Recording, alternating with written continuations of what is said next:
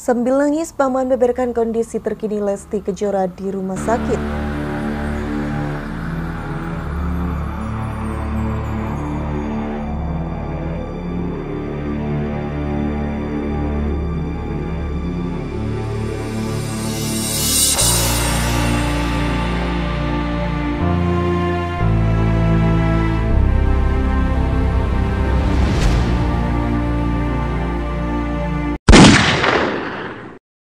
Dapur berita artis terkini.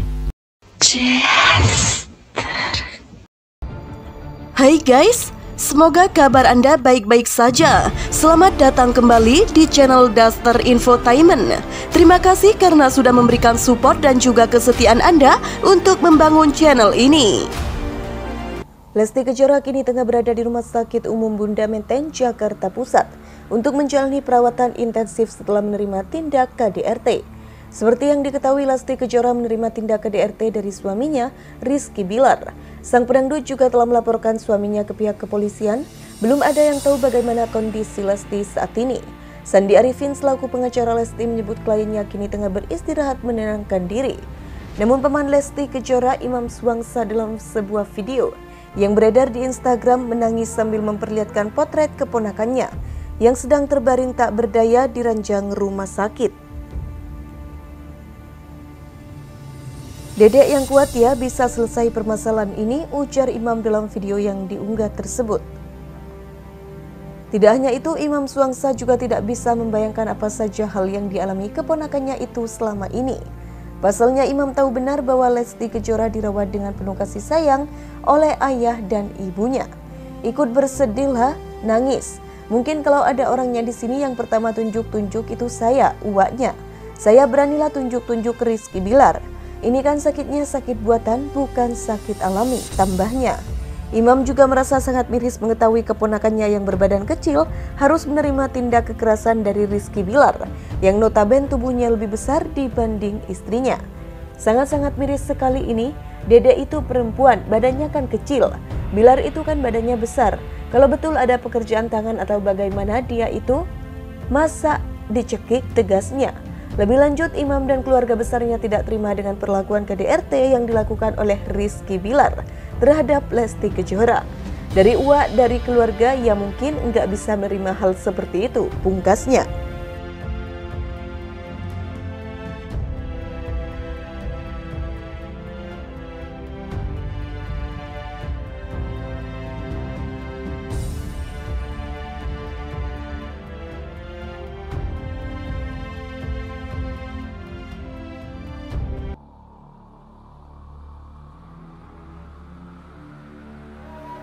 Alami KDRT dari dicekik hingga dibanting, Lesti beberkan sikap asli Bilar. Kabar tak menyenangkan datang dari pasangan rumah tangga Lesti Kejora dan Rizky Bilar. Rizky Bilar dilaporkan melakukan kekerasan dalam rumah tangga atau KDRT kepada Lesti Kejora. Dalam rincian pihak kepolisian, aksi kasar Rizky Bilar dilakukan berulang kali. Berawal dari korban Lesti ini mengetahui suaminya, Rizky Bilar ini selingkuh di belakang Rizky Bilar.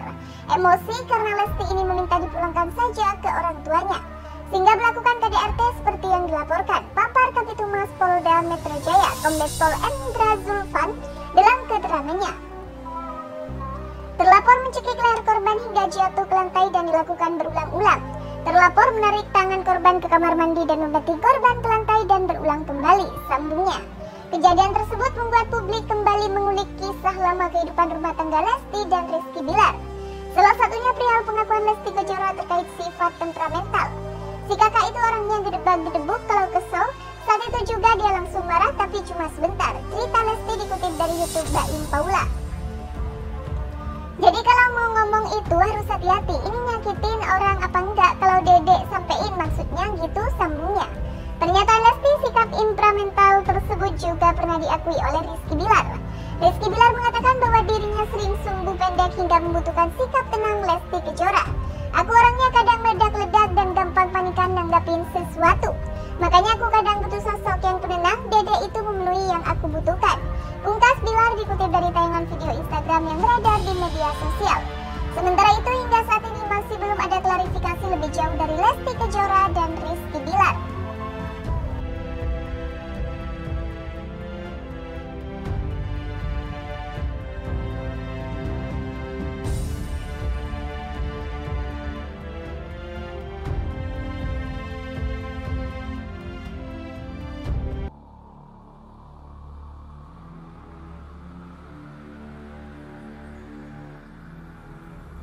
Lesti Kejora dirawat di rumah sakit Bunda usai laporkan Rizky Bilar ke polisi.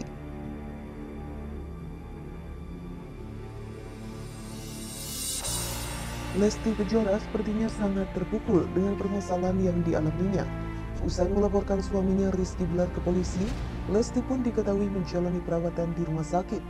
Mantan pengacara dari Lesti Kejora mengatakan ibu satu anak tersebut sedang dirawat di rumah sakit untuk memulihkan kesehatan. Lesti Kejora diketahui dirawat di Rumah Sakit Bunda Menteng, Jakarta. Lesti dan Bilar pernah jadi klien saya dan saya sedang fokus untuk sembuh, kata Sandi Arifin di Rumah Sakit Bunda, Jakarta Menteng. Saat ditanya lebih lanjut perihal kondisi dari Lesti Kejora, Sandi Arifin mengaku belum bisa memastikan kondisi kesehatan lebih jauh. Dia sedang istirahat, kata Sandi Arifin. Kasus dugaan KDRT sendiri saat ini sedang dilakukan oleh pihak kepolisian. Sejauh ini penyidik kepolisian telah melakukan pemeriksaan awal terkait dengan laporan dari Lesti Kejora itu. Penyidik melakukan pemeriksaan awal dan minta visum korban untuk menguatkan laporan, kata Kepala Bidang Humas Polda Metro Jaya Kombes Ed Drazulpan. Penyidik juga berencana untuk memeriksa Lesti Kejora yang diduga mengalami tindak pidana KDRT yang dilakukan oleh Rizky Bilar. Kasus yang dialami oleh Lesti Kejora ini juga mengingatkan pesan yang pernah dikatakan oleh Inul Daratista. Sebelumnya Inul Daratista meminta supaya Rizky Bilar tidak melakukan tindak kekerasan terhadap Lesti. Pesan buat Bilar, jaga Lesti dan jangan pernah disakiti hingga memukul, kata Inul Daratista beberapa waktu lalu. Jika benar tindak pemukulan terhadap Lesti Kejora itu dilakukan, Rizky Bilar tidak hanya berhadapan dengan polisi.